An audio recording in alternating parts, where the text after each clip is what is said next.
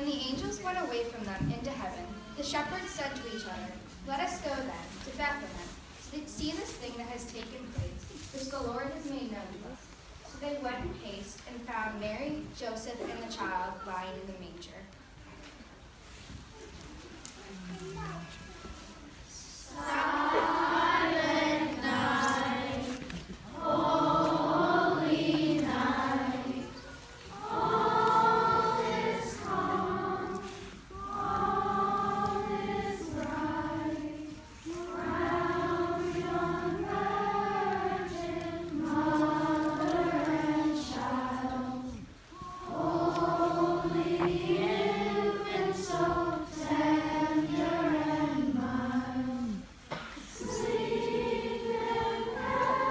You.